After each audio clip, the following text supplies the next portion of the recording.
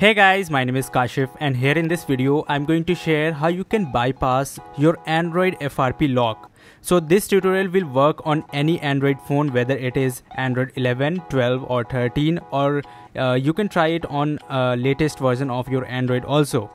So without any further ado, let's get started. So here you can see I have a FRP lock in my uh, Realme phone. What you need to do is connect to Wi-Fi network first. So select the Wi-Fi network uh, you want to connect with and enter the password. Then go back to start and press and hold your two finger in the middle part of the display. This will turn on the talkback option in accessibility mode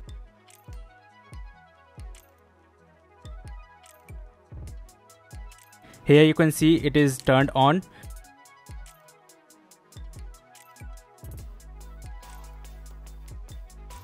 You need to create L gesture on your screen to allow the Android accessibility suite then you need to double tap on while using app. Here you can see this option. Click on this. Use voice commands then you need to say Google Assistant and then you need to say YouTube. This will open YouTube.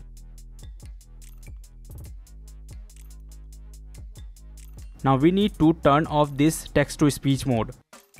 Now for that you need to press and hold volume down and volume up button simultaneously. And here you can see uh, this option is turned off. Now you need to click on profile menu icon and then click on settings.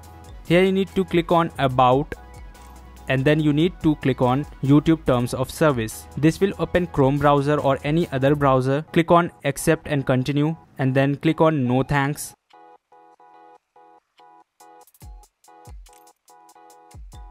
Here you have to search for FRP file slash bypass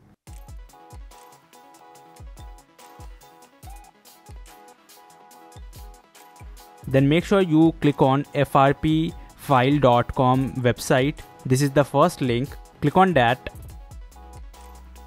This will check the site connection whether it is secure or not. This will take hardly 10 to 15 seconds.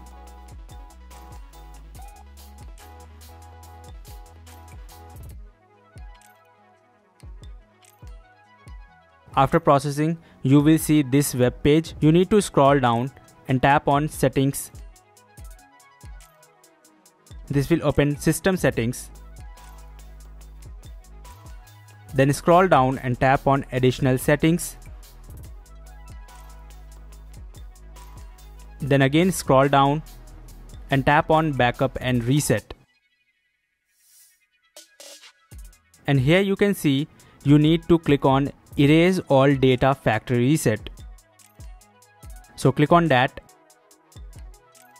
and then you need to select erase all data. Then tap on erase data and again you need to tap on erase data. This will factory reset your phone and it will take around roughly 4 to 5 minutes. I'm fast forwarding this step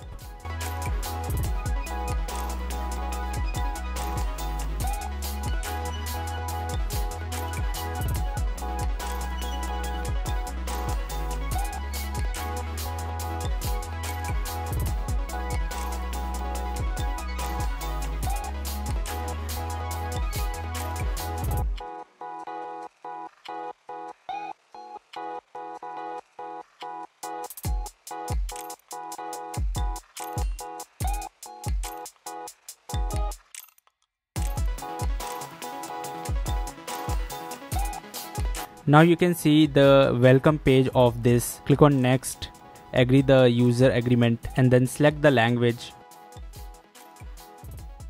And click on next. Then tap on next a uh, few times.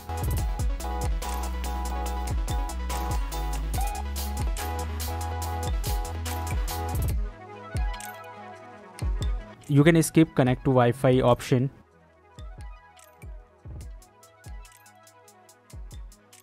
and after that you need to uh, agree all the google services policies.